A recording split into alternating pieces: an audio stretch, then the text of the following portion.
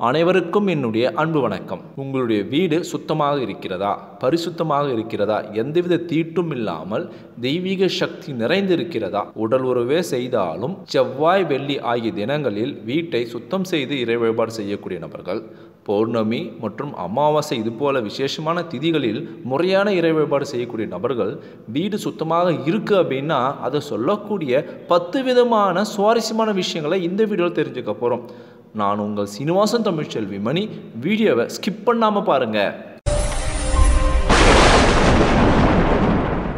இது வரைக்கும் இந்த சேனல் நீங்கள் சப்ஸ்கிரைப் பண்ணாமல் இருந்தீங்கன்னா உடனே சப்ஸ்கிரைப் பண்ணுங்கள் மேலும் பக்கத்தில் ஒரு பெல் ஐக்கான் இருக்கும். அந்த பெல் ஐக்கானும் ப்ரெஸ் பண்ணுங்கள் நான் கொடுக்குற ஒவ்வொரு வீடியோவும் உங்களுக்கு உடனடியாக நோட்டிஃபிகேஷனாக வந்துடும் வீட்டில் தெய்வீக சக்தி நிறைந்திருக்கு அப்படின்னா வீட்டில் என்ன மாதிரியான அறிகுறிகள் இருக்கும் அப்படின்னு ஆல்ரெடி வீடியோவில் பார்த்துருப்போம். அதே போல் உங்கள் வீடு சுத்தமாக இருக்கிறது உங்கள் வீட்டில் பரிசுத்தம் அதிகமாக இருக்கிறது பாசிட்டிவ் எனர்ஜி அதிகமாக இருக்குது அப்படின்னு சொல்லக்கூடிய பத்து விதமான அறிகுறிகள். நீங்கள் இறை வழிபாட்டை மனதளவிலும் மேலும் உங்களுடைய சுற்றுப்புற சூழ்நிலையிலும் தூய்மையாக முறையில் செய்கிறீங்க அப்படின்னா இந்த பத்து அறிகுறிகள் உங்கள் வீட்டில் இருக்கும். இந்த பத்து அறிகுறிகள் உங்கள் வீட்டில் இருந்துச்சு அப்படின்னா உங்களுடைய வீடு சுத்தமானது அப்படின்னு சொல்லலாம். முதல் அறிகுறியாக உங்கள் வீட்டில் நல்ல நறுமணம் வீசும். நல்ல நறுமணம் அப்படின்னா இந்த நறுமணத்தை நீங்கள் உணரும் போதே உங்கள் மனசில் இருக்கக்கூடிய கவலைகள் அனைத்தும் படிப்படியாக குறையும்.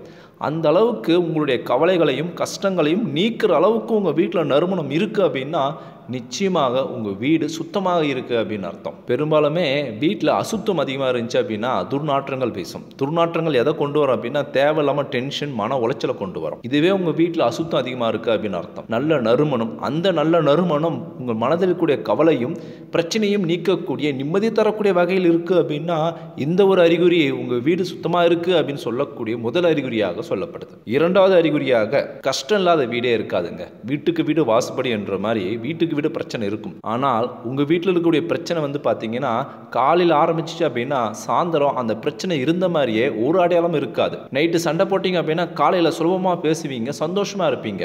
கஷ்டம் இருந்தாலும் அந்த ஒரு கஷ்டம் உங்களுக்கு மிகப்பெரிய விபதி கஷ்டம் இருந்தாலும் அந்த கஷ்டம் உங்கள் வாழ்க்கையில் மிகப்பெரிய விபரீதத்தையும் வேதனையும் ஏற்படுத்தாது. சண்டை வந்தாலும் அந்த சண்டை வந்த சோடு தெரியாமல் காணாமல் போயிடும். இது போல ஒரு அறிகுறிகள் வந்து பார்த்தீங்கன்னா அவங்க வீடு சுத்தமாக இருக்குது அப்படின்னு சொல்லக்கூடிய ஒரு அறிகுறி தான் அதாவது ஒரு பிரச்சனை வருது. அந்த பிரச்சனையோட சண்டையோட விவாதத்தோட நீங்கள் வீட்டு விட்டு வெளியே போகிறீங்க மீண்டும் வீட்டுக்கு எந்தவித விபத்தும் இல்லாமல் பிரச்சனை இல்லாமல் வரீங்க அப்படின்னா அந்த பிரச்சனை மேற்கொண்டு எந்த ஒரு பிரச்சனையும் கொண்டு வரல பார்த்தீங்களா? இதுதான் உங்கள் வீடு சுத்தமாக இருக்குது அப்படின்னு சொல்லக்கூடிய அறிகுறி.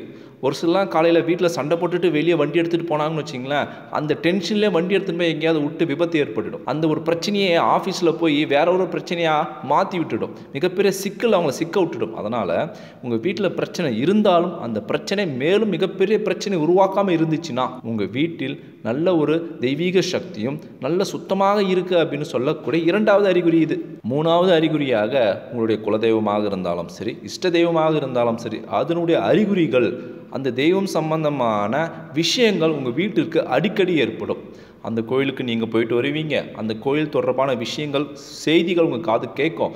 அந்த கோயில் தொடர்புடைய நபர்கள் அந்த கோவில் இருக்கக்கூடிய பூசாரியாக இருக்கலாம் இல்லை அந்த கோவிலில் வேலை செய்யக்கூடிய நபர்களாக இருக்கலாம் இல்லை அந்த சாமியை உங்களை மாரி ரொம்ப தீவிர பக்தி இருக்கக்கூடிய நபர்களாக இருக்கலாம் அவங்க வீட்டுக்கு வருவாங்க. இது போல் உங்கள் குலதெய்வமாக இருந்தாலும் சரி இஷ்ட தெய்வமாக இருந்தாலும் சரி அந்த சாமி தொடர்புடைய விஷயங்கள் அடிக்கடி உங்கள் வீட்டில் நிகழுது அப்படின்னா உங்கள் வீடு சுத்தமாக இருக்குது அப்படின்னு அர்த்தம். நாலாவது ஒரு விஷயமாக தெய்வ சம்பந்தமான கனவுகள் அடிக்கடி ஏற்படும். நீங்கள் தூங்கும்போது ஆழ்நிலை தூக்கத்தில் இருக்கும்போது தெய்வம் உங்களிடம் பேசும். தெய்வம் உங்களிடம் இருப்பது போல ஒரு உணர்வு ஏற்படும். இது வந்து பார்த்தீங்கன்னா நீங்கள் இருக்கக்கூடிய வீட்டில் நல்ல சுத்தமாக பரிசுத்தமாக நீங்கள் அதை மெயின்டைன் பண்ணுறீங்க அப்படின்னு அர்த்தம். இதனாலே உங்களுடைய இஷ்ட தெய்வம் உங்களுடைய குலதெய்வம் உங்களிடம் என்றென்றும் துணையாக இருக்கும். அதை நம்ம உணரணும் அப்படின்னா ஆழ்நிலை தூக்கத்தில் இருக்கும்போது நம்மளுடைய பவர் ஆஃப் சப்கான்ஷியஸ் மைண்ட் அப்படின்னு சொல்லக்கூடிய ஆழ் மனதில் தான் நம்ம உணர முடியும். அந்த ஆழ்ந்த உறக்கத்தில் இருக்கும்போது தெய்வத்தினுடைய குரலோ தெய்வத்தினுடைய உருவமோ தெய்வம் உருவமாக இருக்கக்கூடிய இன்னொருடைய உருவமோ நீங்கள் ஃபீல் பண்ணீங்க அப்படின்னா உங்கள் வீட்டில் பரிசுத்தமும் சுத்தமும் நிறைந்திருக்கு அப்படின்னு சொல்லக்கூடிய நான்காவது அறிகுறி இது. ஐந்தாவது அறிகுறியாக உங்கள் வீட்டில் இருக்கக்கூடிய நபர்கள் குழந்தை பருவத்திலிருந்து முதிய பருவம் வரை பெரியவங்களாக இருந்தாலும் சரி இளம் வயதினராக இருந்தாலும் சரி மனதளவில் சந்தோஷமாக மகிழ்ச்சியாக இருப்பாங்க. அந்த வீட்டுக்குள்ளே போனாலே நிம்மதியாக ஃபீல் பண்ணுவாங்க. ரொம்ப ஹாப்பியாக உணர்வாங்க. இந்த ஒரு சந்தோஷம் வந்து அந்த வீடு சுத்தமாக எந்தவித தீட்டும் இல்லாமல் எதிர்மறை விஷயங்கள் இல்லாமல் இருப்பதற்கான ஒரு அறிகுறியாக சொல்லப்படுது. ஆறாவது ஒரு விஷயமாக ஒரு வீடு சுத்தமாக இருக்குது தெய்வீக சக்தி நிறைந்திருக்கு அப்படின்னா அந்த இடத்துல எதிர்மறையான விஷயங்கள் வராது.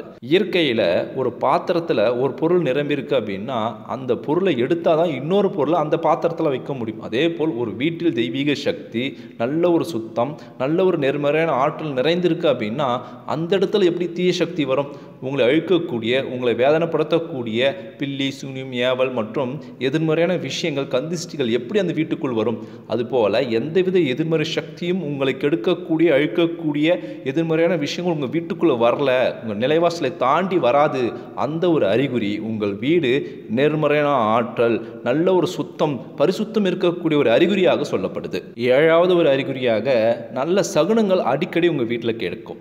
அதாவது கௌரி அப்படின்னு சொல்லக்கூடிய பேர் சொல்லாத்து பூஜரையிலிருந்து சத்தம் போடும். மேலும் நீங்கள் பூஜரையில் சாமி கும்பிடும்போது விளக்கு ஏற்றுறீங்கன்னு வச்சுங்களேன் உங்களை அறியாமல் அந்த விளக்கு அணையாது. மேலும் அந்த விளக்கு இருக்கக்கூடிய திரி எண்ணெய் குறைந்து கருகியும் போகாது. இதுபோல் எந்தவித தடையும் இன்றி எந்தவித அபசுகுணங்கள் ஏற்படாமல் வீட்டுக்குள் நிறைய நல்ல விஷயங்கள் நடந்துகிட்டே இருக்குது நல்ல சகுனங்கள் கெட்டுட்டே இருக்குது அப்படின்னா உங்கள் வீடு சுத்தமாக பரிசுத்தமாக இருக்குது அப்படின்னு அர்த்தம். காற்றுல தீபம் அணையிறது வேற. ஆனால் தீபம் ஏற்றிட்டு கவனம் இல்லாமல் ஏதோ ஒரு டென்ஷனில் மன உளைச்சலில் நீங்கள் மாட்டு ஃப்ரீஸ் ஆகி ஒரு இடத்துல இருக்கீங்க அப்படின்னா எண்ணெய் காலியாகி அந்த திரி கருகிடும். இது வந்து ஒரு விதமான அபசகுணமாக பார்க்கப்படுது.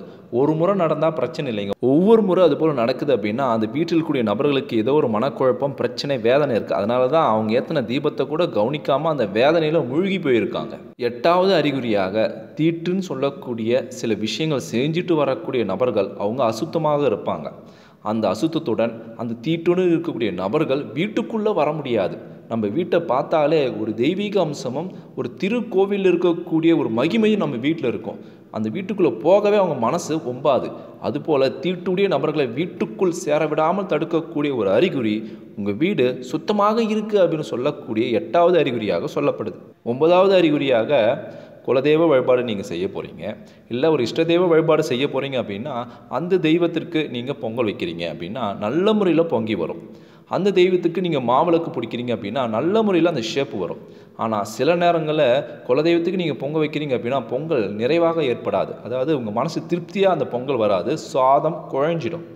மாவுளுக்கு பிடிக்கிறீங்க அப்படின்னா ரொம்ப சிரமமாக இருக்கும். நீங்கள் நினச்ச ஷேப் வராது. எவ்வளோ தான் தண்ணி ஊற்றினாலும் அந்த மாவு குறிப்பிட்ட அமைப்பில் வராது. ஒன்று தண்ணி அதிகமாக போயிடும் இல்லை மாவு அதிகமாக போயிடும். இது போல் பல நேரம் நீங்கள் போராட்டத்திலே அந்த மாவை நீங்கள் பிடிக்க வேண்டியதாக இருக்கும். சாமிக்கு படைக்க நீங்கள் பால் வச்சா கூட உங்களுடைய கவனக்குறைவால் அந்த பால் தீஞ்சிரும் இல்லை திரிஞ்சிடும் இது போல் எந்த ஒரு சமமும் ஏற்படாமல் குலதெய்வ வழிபாடுக்காக நீங்கள் செய்யக்கூடிய ஒவ்வொரு பணியும் உங்கள் மன நிறைவு ஏற்படுற அளவுக்கு சிறப்பாக முடியுது அப்படின்னா உங்கள் வீடு சுத்தமாகவும் தெய்வத்தினுடைய அருளும் ஆசையும் நிறைந்திருக்கு அப்படின்னு அர்த்தம். பத்தாவது அறிகுறியாக சில உயிரினங்கள் வீட்டுக்கு வருவது மிகவும் அதிர்ஷ்டம் தெய்வீக அம்சம் நிறைந்திருக்கு அப்படின்னு சொல்லுவாங்க. காகம் வீட்டுக்கு வந்தால் நம் முன்னோர்களுடைய அருளும் ஆசையும் நிறைவாக இருக்குது ஏன்னா முன்னோர்களுடைய மறுஜென்மம் பித்திருக்களுடைய மறுஜென்மம் தான் காகம் அப்படின்னு சொல்லுவாங்க. அதே போல் கோவிலுக்கு நேர்ந்து விட்ட மாடு பசுமாடு வீட்டுக்கு வருவது மிகவும் அதிர்ஷ்டம் அப்படின்னு சொல்லப்படுது. பசுமாடு என்பது காமதேனுக்கு ஒப்பாக போற்றப்படுகிறது. அந்த அளவுக்கு சிறப்பு வாய்ந்த காமதேவன் நம்ம வீட்டிற்கு உணவுக்காகவும் தாகத்திற்கு தண்ணிக்காக வரும்போது அதை நம்ம செஞ்சோம் அப்படின்னா மிகவும் அதிர்ஷ்டம் அப்படின்னு சொல்லப்படுது. மேலும் சிட்டுக்குருவி குலவி இது போல தெய்வீக அம்சம் உடைய சில உயிரினங்கள் நம்ம வீட்டுக்கு வருவது நம்ம வீடு சுத்தமாகவும் தெய்வீக ஆற்றல் நேர்மையான ஆற்றல் நிறைந்திருக்கு அப்படின்னு சொல்லக்கூடிய ஒரு அறிகுறியாக சொல்லப்படுது. நான் சொன்ன இந்த பத்து அறிகுறிகளில் ஏதாவது ஒன்று ரெண்டு இருந்தால் கூட உங்கள் வீடு சுத்தமாக இருக்குது நீங்கள் செய்யக்கூடிய இறை வழிபாடு மிகவும் சரியானது அப்படின்னு சொல்லப்படுது. இந்த வீடியோ உங்களுக்கு ரொம்பவும் பயனுள்ளதாக இருந்திருக்கும் அப்படின்னு நான் நினைக்கிறேன். இந்த வீடியோ பற்றி உங்களுடைய கருத்துக்கள் என்ன அப்படின்னு மறக்காமல் கமெண்ட் பாக்ஸில் கமெண்ட் பண்ணுங்கள் மறக்காமல் உங்களுக்கு எந்த தெய்வம் ரொம்ப பிடிக்கும் உங்களுடைய இஷ்ட தெய்வம் பெயர் என்ன அப்படின்னு டைப் பண்ணுங்கள் இந்த வீடியோவை அனைவருக்கும் ஷேர் ஷேர் பண்ணுங்கள் நம்மளுடைய டி தமிழ் டெக்னாலஜி சேனலை சப்ஸ்கிரைப் பண்ணுங்கள் லைக் பண்ணுங்கள் மீண்டும் அடுத்த ஒரு சுவாரஸ்யம் சந்திப்போம். தேங்க்யூ ஃபார் வாட்சிங்